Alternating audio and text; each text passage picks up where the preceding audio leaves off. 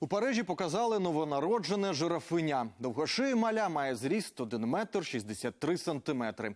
За словами наглядачів, воно здорове та бадьоре.